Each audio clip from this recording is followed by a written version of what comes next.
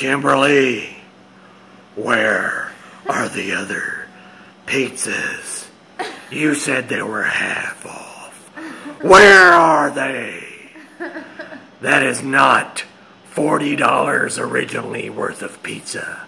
I see three boxes. Three. Actually, this one isn't pizza. I don't care about the third box. I care about the overall. You told me half off. The guy gets here, and it's $28 and 55 cents. Why? That's called bait and switch. You switched the deal. You altered the deal.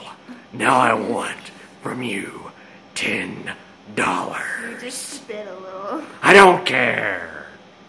Get me the money. Now.